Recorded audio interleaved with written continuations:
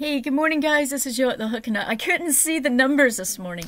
I wait for the numbers to pop up so I can see what in the world I'm doing. Um, so, anyway, uh, welcome to the end of the week. It's Erev Shabbos, and that means I only have to work a half day today because the rest of the day will be spent cleaning up mostly after the cats and getting ready uh, for Shabbos and stuff. Uh, but anyway, yesterday was brutal cold and I put it. I changed up my 30 day adventure expedition scarf uh, for uh, artifact hunting, and um, one of the things I added on is what if it's too cold to go out? Not because of rain, not because of snow, because you're flipping frostbite. So I got to add blue frostbite beads. You can't see them very well, can you? Nope. They blended in really well with the blue sky from yesterday. Uh, but they are, by the way, still just like the rain beads. They're uh, glow in the dark. I'm going to run out soon, and I'm going to be very unhappy about that. But anyway, so yesterday, since I didn't go out because it really was that cold, it was like single digit cold with by the time you added on the wind chill. Um, so I chose the brown from the soil, and it was a blue uh, sky uh, all day. You know, a lot of clouds in it, but it was mostly blue. And um, so I added in the blue frostbite beads. So that was a, that was a lot of fun. I love getting to add in the beads. I don't mind those days. I would mind them if I didn't wasn't able to add in beads.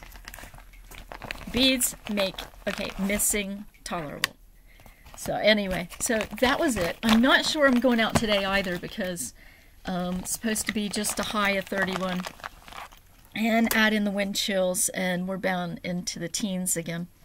So anyway, so the other thing uh, that I'm going to have going today is after I've got to finish mittens up.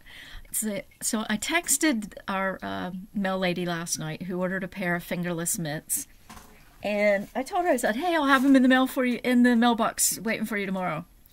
And I was like, I don't even have them done. So I've still got to finish those up this morning. That's why I'm talking fast and going through this fast. And I will, as soon as I've got the mitts made and they're down in the um, mailbox, which will be before noon, um, I'll get the how to sew on Etsy video done. Seriously. Uh, okay, so the other thing I'm working on today is an order for the ponytail hats, but I don't really like the ones that I'm seeing. But I do like the Tea Cozy Hat by Woolly Wormhead. And you can go on, look for Tea Cozy Hat on Ravelry. And I'm not, I don't have time to put the links today, and I'm sorry. But put, look for the Tea Cozy Hat on, on, on Ravelry, and then just follow the link. It's a free pattern, download the pattern. And I mean, it's really, really nice. The way she's got it. See, what I haven't liked about the Tea Cozy hat is like, I don't care if you do have a, a ponytail up there you're going to have air coming through. And where does the heat leave your head? Through the top, out through there. That's still the top of the head. So you're losing heat.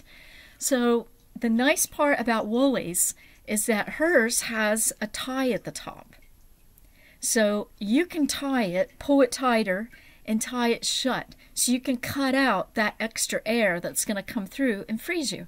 Because the point of a hat really isn't for looks, guys. The point of a hat is to keep you warm in the winter.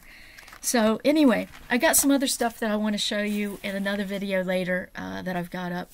But don't have time right now. I've got to get myself moving. Uh, hope you all have a great weekend. Uh, good Shabbos to the tribe. Uh, for those of you in the tribe who see this later, and good Volk and I hope everything goes great today. And we'll see you later. Stay warm.